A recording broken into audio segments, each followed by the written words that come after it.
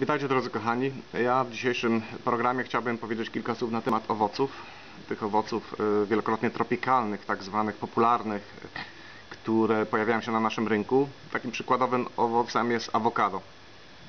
I chciałbym dzisiaj powiedzieć trochę na ten temat, ponieważ jest jakby taka pasja za tym owocem awokado, że jest bardzo pożywny, że jest bardzo zdrowy, że jest bardzo dobry, ma dużo właściwości, jak on e, bardzo oddziaływuje na ciało i tak dalej, na włosy i tak dalej, że można z niego robić nawet maseczki na skórę i z tym bym się nawet zgodził.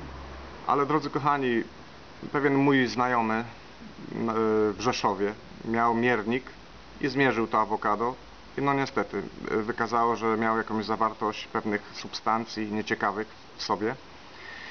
Także ja uważam, że nie wszystkie awokado, które y, można zakupić w Polsce mają, y, są naprawdę takie ekologiczne i takie naprawdę, że można je po prostu przygotowywać sałatkę z nich i tak dalej, ponieważ zawierają również E, dużo chemii.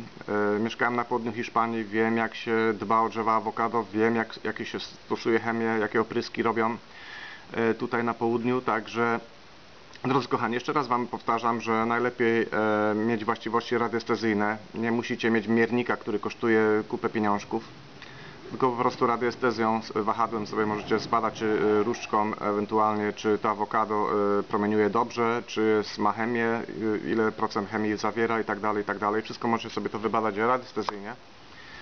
Ja wczoraj osobiście kupiłem awokado, przynajmniej około 2 kg, ale wiem, że te awokado są z gospodarstwa, które tutaj jest niedaleko mojego domu, są ekologiczne i nie mają, nie stosowane są żadne środki oprysk, oprysku, ani żadne środki ochrony przed y, owadami itd., tak itd. Tak także te, te awokado są 100% ekologiczne.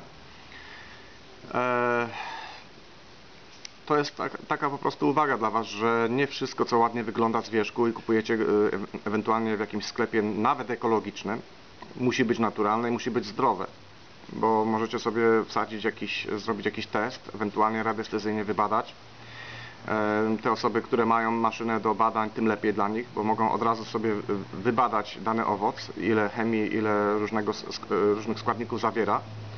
I osoba, która ma właściwości radiestezyjne, na przykład w moim przypadku ja sobie wybadam radiestezyjnie i wiem, e, że dany owoc e, jest nie do zjedzenia. Niedawno przyniósł mi pewien znajomy, tutaj właśnie przyniósł mi banany. I wziąłem te banany od razu na badania, Okazało się, że te banany w ogóle nie nadają się do zjedzenia, ponieważ zawierają dużą ilość glisofatu. Glisofat, taki właśnie środek, o, o, który był właśnie w tych bananach, także musiałem e, podziękować i musiałem po prostu te banany po, po jakimś czasie mu oddać tej osobie. Także tak wyglądają sprawy właśnie y, z pięknymi owocami na wystawach sklepowych.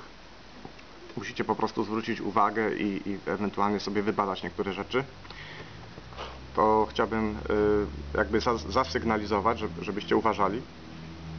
I na marginesie chciałbym też y, skomentować, iż y, moja firma robi aronit mineralny bardzo zdrowy, odpromiennik na dom, osobisty, na telefon. Możecie zakupić je na linku pod YouTube'em, jak również możecie zakupić te piękne koktajle z, z jagody maki, które są bardzo zdrowe, są to najzdrowsze koktajle na świecie i również możecie je zakupić na linku pod YouTube'em.